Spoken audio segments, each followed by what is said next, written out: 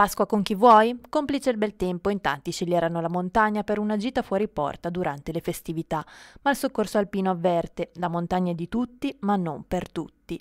I dati parlano chiaro. Negli ultimi cinque anni, nel territorio gestito dalla diciannovesima delegazione Lariana, il numero di interventi di soccorso in montagna è cresciuto costantemente, passando da 335 nel 2018 a 382 nel 2019, 416 nel 2020, 433 nel 2021 e 487 lo scorso anno.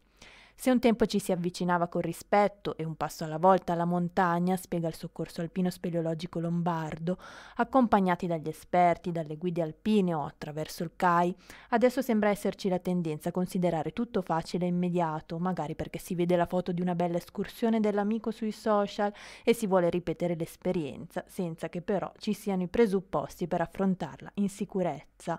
Molti degli interventi infatti sono dovuti alla mancanza di conoscenza dei luoghi, a una percezione delle proprie capacità non corretta e alla scarsa attenzione nell'organizzare un'escursione secondo le indicazioni di base.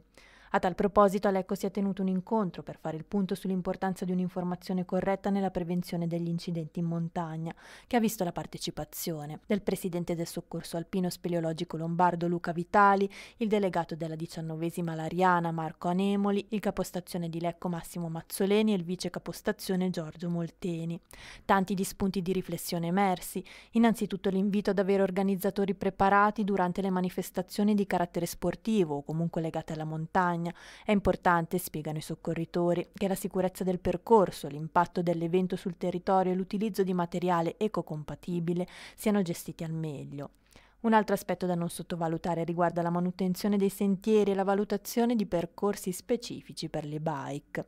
Collaboriamo da lungo tempo con associazioni e realtà del territorio, conclude il Soccorso Alpino, per ricreare una cultura dell'andare in montagna più consapevole e attenta ai temi ambientali.